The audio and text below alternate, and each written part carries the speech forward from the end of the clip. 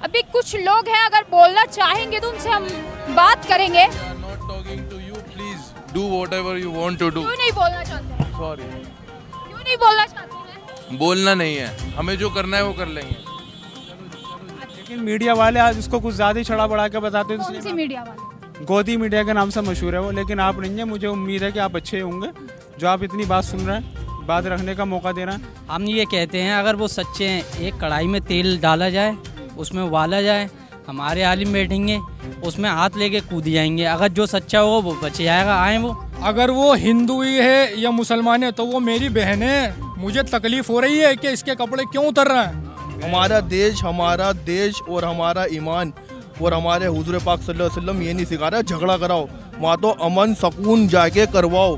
क्यों लड़ाई झगड़े में क्या है?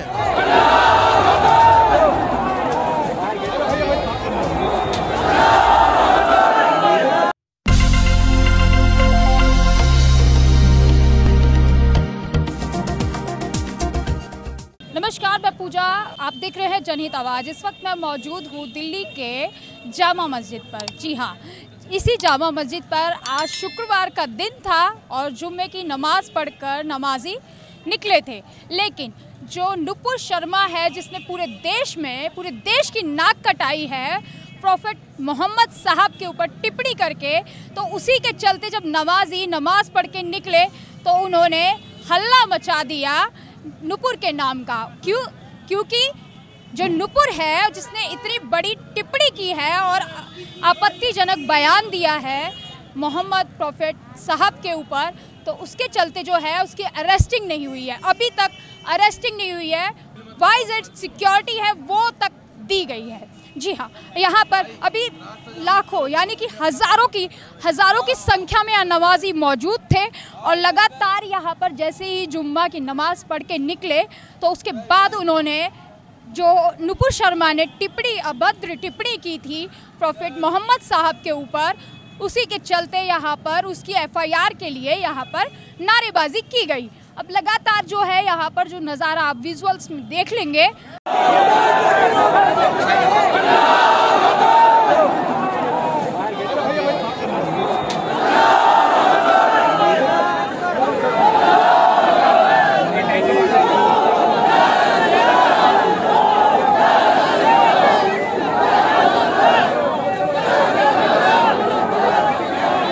किस तरीके से यहाँ पर हज़ारों की संख्या में जो नमाजी आए थे, नमाज़ पढ़ने, आज शुक्रवार का दिन है, बहुत बड़ा दिन होता है।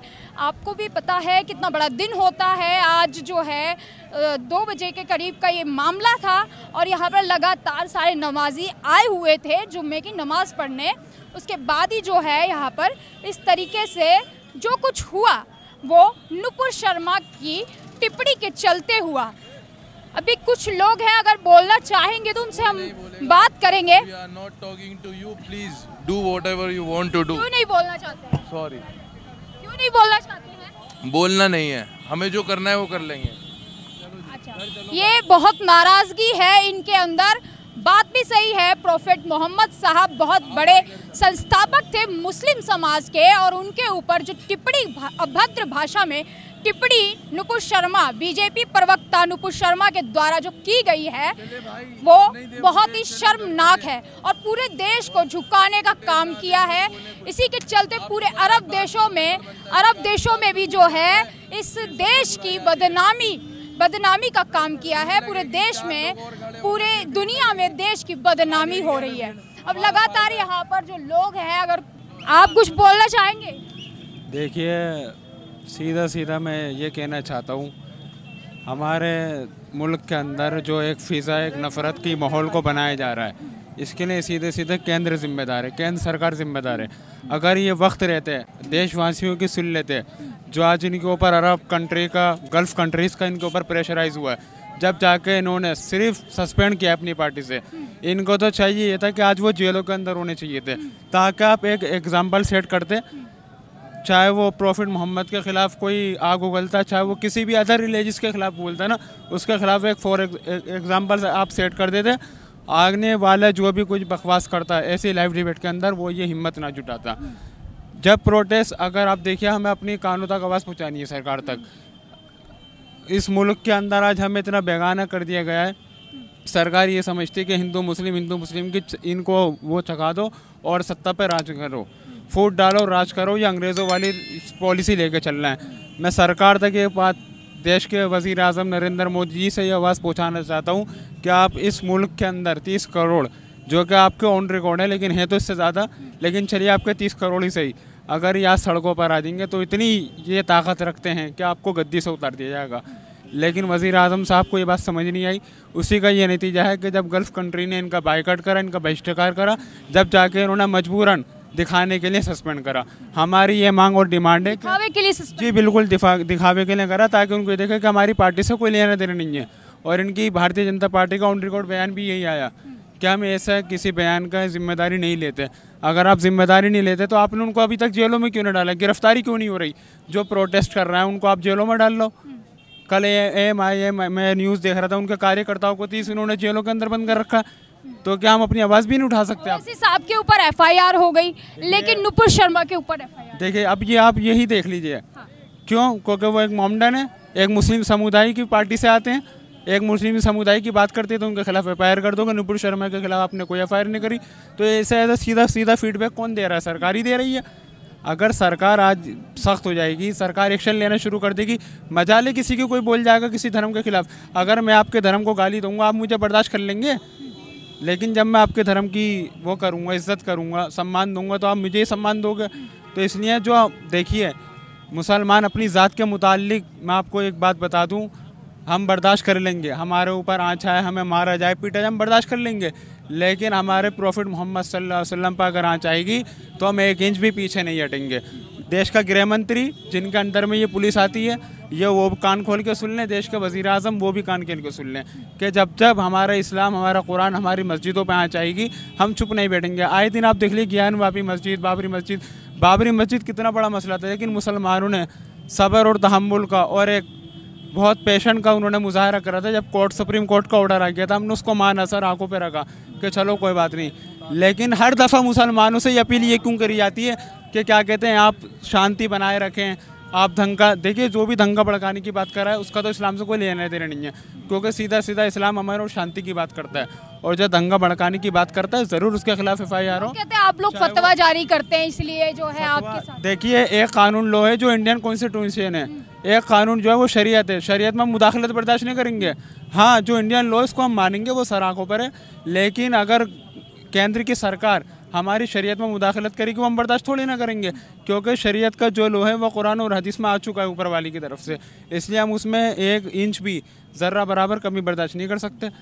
तो सरकारों को देखिए आज महँगाई बेरोजगारी पर क्यों नहीं बात करता? देश का वज़ीर आज़म पिछले आठ सालों से एक प्रेस कॉन्फ्रेंस नहीं कर सकता। उसकी इतनी हिम्मत नहीं है कि वो मीडिया वज़ीर आज़म वज़ीर आज़म नरेंद्र मोदी है देश का प्रधानमंत्री आपका प्राइम मिनिस्टर। आठ साल प्राइम मिनिस्टर आपका नहीं। हमारा भी है हमारा भी है लेकिन मीडिया वाले आज उसको कुछ ज़्यादा ही छड़ा बढ़ा के बताते हैं। मीडिया वाले? गोदी मीडिया के नाम से मशहूर है वो लेकिन आप नहीं है मुझे उम्मीद है कि आप अच्छे होंगे। जो आप इतनी बात सुन रहे हैं बात रखने का मौका दे रहे हैं लेकिन वो महँगाई पे नहीं बोलते बेरोजगारी पे नहीं बोलते अर्थव्यवस्था पे नहीं बोलते। नहीं है ना वो? मॉब लिंचिंग हो रही है इनके लिए मुद्दा ही नहीं है, महँगाई देखिए मंदिर मस्जिद मुद्दा ही नहीं है इनके लिए। मंदिर मस्जिद हिंदू मुसलमान ये इनके मुद्दे हैं। आज देख लीजिए बेरोजगारी दर कहाँ जा पूछिए। आप जीडीपी बांग्लादेश से मिलाइए। हाँ, बेरोजगारी मिल रहा है सबको रोज़गार इसलिए तो कोई मुद्दा नहीं है। मैडम आपको मिल रहा होगा रोज़गार। आप इसलिए बोल लेंगे मुझे तो नहीं मिल रहा और जितने भी आप खड़े में आप देख लीजिए कोई भी नहीं है। बांग्लादेश से नीचे हमारी जीडीपी जा चुकी है। जो ऑन रिकॉर्ड है आंकड़े हैं जो मैं आपके सामने बयान कर रहा हूँ। तो बेरोजगारी पर सरकार को बात करनी चाहिए और क्या कहते हैं शिक्षा पे बात करनी चाहिए स्वास्थ्य हेल्थ पे बात करनी चाहिए। ये हिंदू मुस्लिम करने से देखिए देश गिरोह नहीं। है सामने आएँगे तो प्रॉफिट मोहम्मद साहब पे इतनी बड़ी टिप्पणी की है।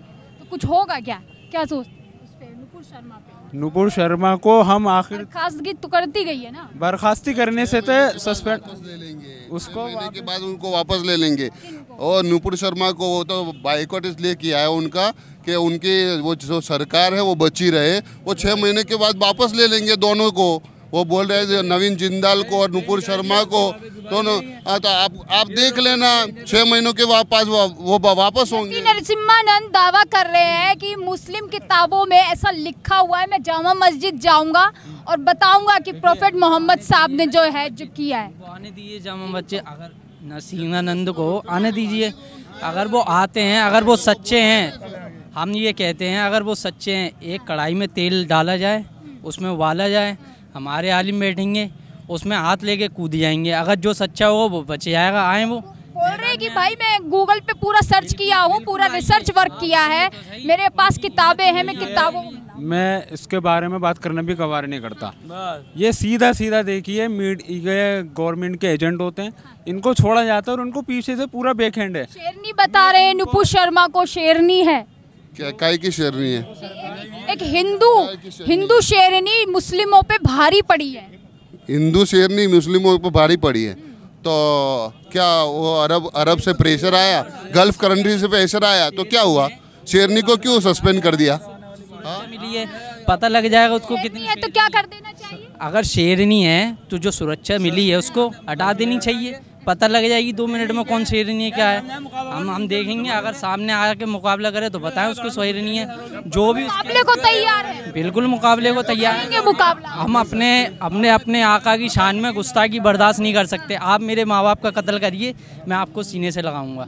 आप मेरे भाई का कत्ल करिए मैं आपको सीने से लगाऊँगा। क्या नाम लेकिन लेकिन अगर हमारे आका पे बात आएगी तो हम बिल्कुल बर्दाश्त नहीं करेंगे। अपनी जान माल हमारे माँ बाप हमारे शान हमारे आका पे कुर्बान है बिल्कुल। अगर वो इतनी शेरनी है आपके लिए सबके लिए जो उनका समर्थन कर रहे हैं तो वो आए सामने हमसे मुकाबला करें सीधे।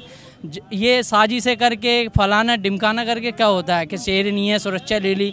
हिम्मत है तो सामने आए रोड पे आए बात करें और नसरीना जामा मस्जिद पे आए हमारे सामने। कितने हिम्मत वाले हैं वो। क्या नाम है आपका? जी शान रज़ा। पढ़ते हैं? जी जॉब करता हूँ मैं। जी। तो मतलब अभी जिस तरीके से यहाँ जामा मस्जिद पे अभी आप लोग जुम्मे की नमाज़ थी आज तो ऐसा क्या कुछ हुआ? आपका तो नाम हमेशा जो है बदनामी हो रहा है कि जुम्मे की नमाज़ करते हैं, पत्थरबाजी करने लगते बाहर निकल कर। अभी कानपुर हिंसा हुई, उसमें भी आप लोग हम तो बदनाम है। बदनामी का मैं मैं नहीं बोल रही हूँ ऐसा मतलब बोला जाता है। दिखाता ही नहीं है। मीडिया हमारी सच्चाई दिखाता ही नहीं है। जो हम काम करते हैं वो दिखाता नहीं है। बस हमारे पत्थर फेंकने को देख लेते हैं। कानपुर की वीडियो कितनी देखी हमने? कानपुर में और भी भगवान गमछा पहन के पत्थरबाजी कर रहे हैं बल्कि पुलिस भी पत्थरबाजी कर रही थी। उनकी वीडियो मीडिया ने नहीं दिखाया। बस दिखाया तो मुसलमानों की वीडियो दिखाया। गिरफ्तारी किसकी हो रही है? मुसलमानों की हो रही है। देखा है आंकड़ा। देखा है। हमने देखा कि अट्ठावन गिरफ्तारियाँ हुई किसकी हुई है? मुसलमानों की हुई हैं आज उसमें कुछ हिंदू भी हैं लेकिन ज़्यादातर मुसलमान हैं उसके बोर्ड पोस्टर लगवा दिए हैं मुसलमानों के जो बच्चे बच्चे हैं। हमने ऐसी वीडियो देखी है जो पुलिस भी पत्थरबाजी कर रही है उन पर एक्शन क्यों नहीं हुआ? उन पे भी एक्शन होना चाहिए। आखिर एक एक विशेष को क्यों टारगेट कर रहे हैं ये लोग? टारगेट कर रहे हैं बिल्कुल बिल्कुल कर रहे हैं। एक एक मुसलमान को अगर कोई पत्थर फेंक रहा तो उसकी वीडियो मीडिया चला देती है। लेकिन जो हिंदू लोग हैं उन्होंने भी तो पत्थर फेंके हैं ऐसा क्यों नहीं दिखा रहे? वो भी वीडियो लाए सामने। आज ऐसे क्या हो गया? जुम्मे की नमाज़ थी अच्छा खासा दिन था और फिर उसके बाद जो है नारेबाजी लगने लगी। नहीं कुछ भी नहीं हुआ कुछ भी नहीं हुआ है। नारा कुछ भी नहीं हुआ है। मैंने यही नमाज़ पढ़ी है कुछ भी नारा नहीं हुआ है। थे वहाँ। हाँ मैं यही यही यही नमाज़ पढ़ी झूठ है ये। हाँ, देखो मिस मिस मैं आपको बताऊँ क्या बात है? देखो देखो। हमारा जो मज़हब है वो सिखाता है एकता। नहीं समझिए आप? चाहे हिंदू आ जाए मुसलमान आ जाए सिख आ जाए या ईसाई आ जाए और अगर एक प्लेट है ना तो हम सबको बिठाएँगे कि सब खाओ। चाहे मुसलमान भूखा उठ जाए लेकिन सब खाओ तुम। समझ रहे हो? और ये जो लड़ाई झगड़े करवा रहा है ना ये दूसरे लोग करवा रहा है। कौन करवा रहा है? दूसरे लोग जो? नफरतें पैदा करना चाह रहे हैं। हम चाह रहे हैं कि सब एक साथ रहें क्योंकि हिंदुस्तान जो है ना वो हिंदुस्तान वो है सब मजहबों का नाम। समझ रहे हो? ये पाकिस्तान नहीं है न अफ़गानिस्तान है ये है हिंदुस्तान।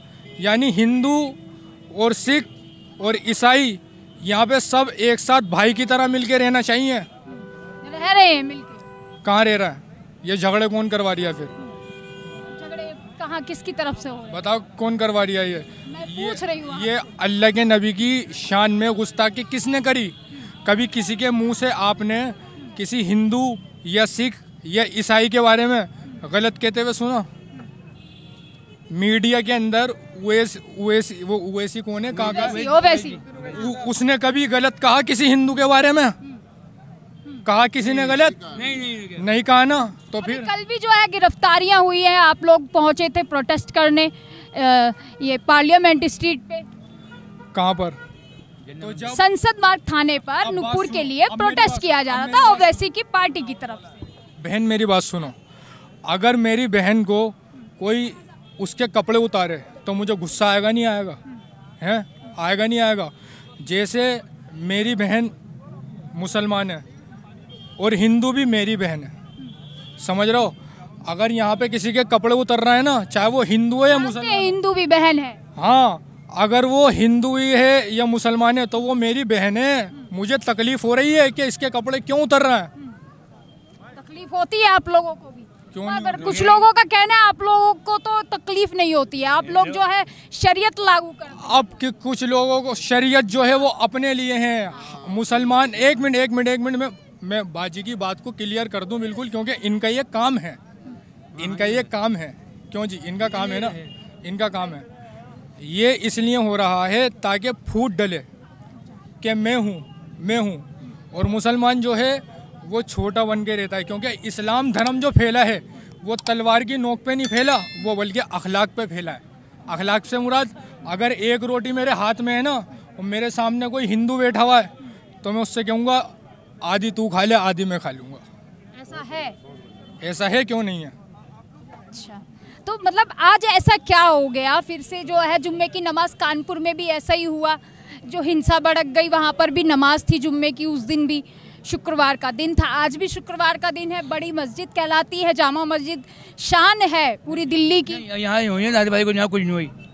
से- हाँ, पूरा पूरे पूरी दुनिया की मीडिया दिखा रही है नहीं यहाँ है नहीं बताओ। कुछ नहीं है। कुछ नहीं हुआ है। मैं कब से कुछ नहीं हुआ है। मैं हूँ। यहाँ ऐसा अल्लाह ना करे खुदा ना करे कुछ भी नहीं है यहाँ पे। मैं आपको खुले खुल्लम बात बताता हूँ मैं आपको खुल्लम खुल्ला। देखो हमारा जो देश है इसको हिंदुस्तान बोलते हैं। सोने की चुड़िया हमारा हिंदुस्तान। यहाँ हिंदू मुसलमान सिख ईसाई। आपस में भाई भाई। भाई भाई। ठीक है आपको खुले खुले अल्फाजों में मैं आपको आपको इन सबको अपने हिंदुस्तान की जनता को और बाहर मुल्क वालों को सबको समझाता हूँ छोटी छोटी बातें। देखो हमारा मुल्क जो बताता है ना प्यार मोहब्बत बताता है। सबसे बड़ी बात ये है। और री देखो हम यूँ नहीं कह रहे कि हमारी सरकार ऐसी है। जो कुछ लोग हैं ना वो इस सरकार को बदनाम कर रहा है। कुछ लोग कौन है? आप लोग कुछ लोगों का नाम बता रहे हैं। ये मीडिया वाले खुल्ला। एक मिनट। ये मीडिया वाले हैं जो खुला बदनाम कर रहा है। जो खुला हमारे देश का सकून अमन ख़त्म करना चाह रहा है। और ये जो एक बात बताओ जो अल्लाह के नबी हैं जिनको हजूर पाक सल्लल्लाहु अलैहि वसल्लम कहते हैं ठीक है? इन्होंने तो हमेशा मोहब्बत अखलाक इन्होंने तो ये चीज़ बताई है। और आपके बारे में तो ऐसे ऐसे वाक़ी हैं ऐसे ऐसे वाक़ी हैं जिसका कोई जवाब नहीं। मैं आपको बता दूँ जो हमारा जो ये मुसलमान है ना मुसलमान ये हमारा ये जो फैला तलवार की नोक पे नहीं फैला ये ज़बान की नोक पे फैला है अखलाक की नोक पे फैला हमारा दिन। हमारा दिन ये नहीं सिख रहा है कि किसी को लड़ाई झगड़े करवाओ ये करवाओ हमारा तो दिन ये सिखा रहा है जहाँ पे झगड़ा हो रही है वहाँ पे प्यार मोहब्बत जाके वहाँ पे समझाओ निमटाओ। हमारा देश हमारा देश और हमारा ईमान और हमारे हुजूर पाक सल्लल्लाहु अलैहि वसल्लम ये नहीं सिखा रहा है झगड़ा कराओ। वहाँ तो अमन सकून जाके करवाओ। क्यों लड़ाई झगड़े में क्या है? कुछ भी नहीं है लड़ाई झगड़े के अंदर। अगर हम अगर हम जो मुसलमान हैं कह रहे लड़ाई झगड़ा नहीं करवा रहा है। जो जहांगीरपुरी हिंसा हुई उसमें भी पत्थरबाजी में आप लोगों का नाम है। तो बदनाम करा जा रहा है कानपुर हिंसा में आपका बदनाम करा जा रहा है ना ये हम लोगों को। हमें बदनाम करा जा रहा है। सिर्फ़ कुछ नहीं सिर्फ़ बदनाम करा जा रहा है। एक बात बताओ सिर्फ़ टारगेट हम। है टारगेट है हम। टारगेट है। जी टारगेट है हम। बाकी हमें बदनाम लगता है क्या इस देश हमें में? क्यों डर लगेगा? देश हमारा है। देश हमारा है। हम सीना पकड़ करके कह रहा है। हिंदुस्तान हमारा है। डरते हैं। देश हमारा है। हिंदुस्तान देश हमारा है। है पाकिस्तान आपने मांगा था मिल चुका आपको पाकिस्तान। हमें पाकिस्तान थोड़ी चाहिए हमें तो हिंदुस्तान चाहिए हमें तो। जिसको पाकिस्तान जाना, पाकिस्तान जाए, वो चलेगा, मगर हिंदुस्तान हमारा है। तो अभी आपने देखा किस तरीके से सभी लोगों का जो कहना है, वो नबी की शान में जो है, गुस्ताखी बर्दाश्त नहीं करेंगे। बात भी सही है कि नबी जो मुस्लिम जो मुस्लिम लोग हैं, उनके बहुत बड़े संस्थापक रहे हैं, उनका नाम है पैगंबर मोहम्मद साहब। उनके ऊपर अभद्र टिप्पणी करने वाली नुपुर शर्मा को वाई जेड सिक्योरिटी दी दी जाती है, लेकिन उसके ऊपर एफआईआर नहीं होती है, सिर्फ़ और सिर्फ़ निलंबित कर दिया जाता है। ऐसा मैं नहीं कह रही हूँ, ऐसा कहा जा रहा है। जो है, उन्हें निलंबित कर दिया इसी तरीके से नवीन जिंदल जो थे, नवीन जिंदल को भी, जो प्रवक्ता है बीजेपी का, उसको भी निलंबित कर दिया गया है और नुपुर शर्मा को भी। इसी तरीके से इन लोगों ने जो बताया कि किस तरीके से ये लोग जो है, नबी की शान में गुस्ताखी बर्दाश्त नहीं करेंगे, एकता की ये लोग बात करते हैं, लेकिन फिर भी मुस्लिमों को टारगेट किया जाता है। ऐसा इन सबका कहना है। इसी तरीके से देखते रहिए जनहित आवाज़, मेरे सहयोगी धर्मेंद्र के साथ में पूजा दिल्ली।